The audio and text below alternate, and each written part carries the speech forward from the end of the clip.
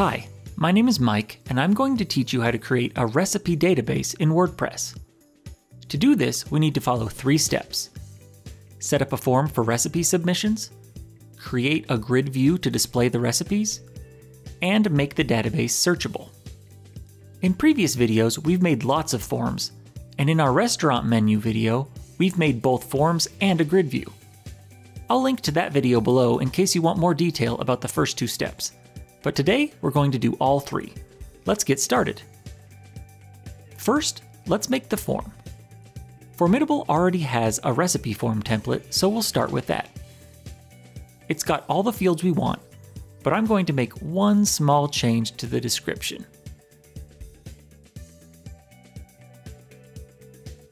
There. I'll click Update to save. Okay, now we need to make a grid view. That name is fine, and we'll go to the Layout Builder. I have quite a few fields, so I'm going to add lots of rows and columns to fit them all.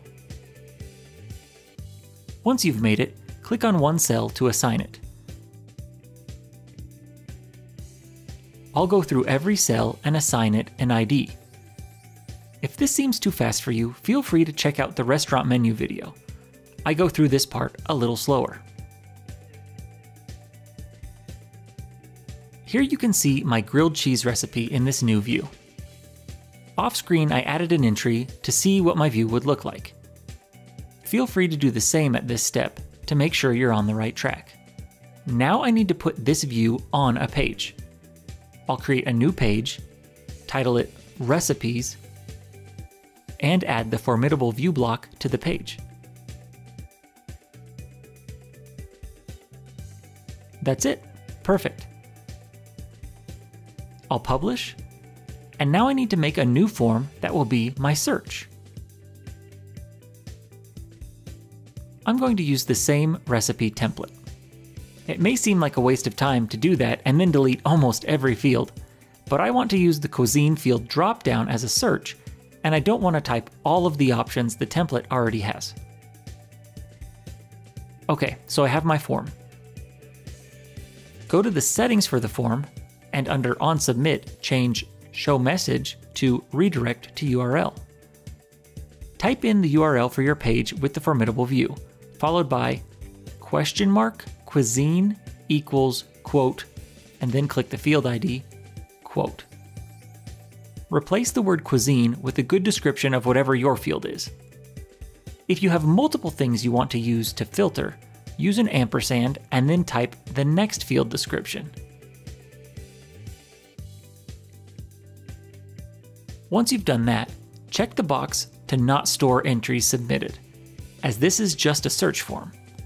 And then in Actions and Notifications, turn off the email action so you're not flooded with emails when people start searching for recipes. Update your form, and then go back to your view.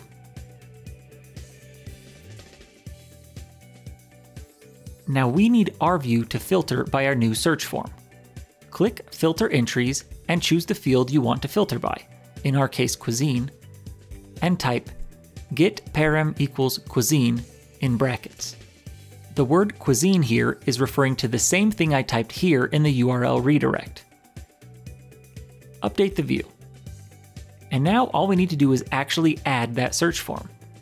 Click Add Before Content. Here type the following. Formidable ID equals X minimize equals 1 in brackets. I'll put this code in the description below so you can copy paste if you want. Replace the X with the form ID of your search form. If you don't know the form ID of your search form, you can get it pretty easily from the URL when you open your search form to edit it. Update the view and let's try it out. Here's my recipe page. Let's search for something I don't have a recipe for to see if it works.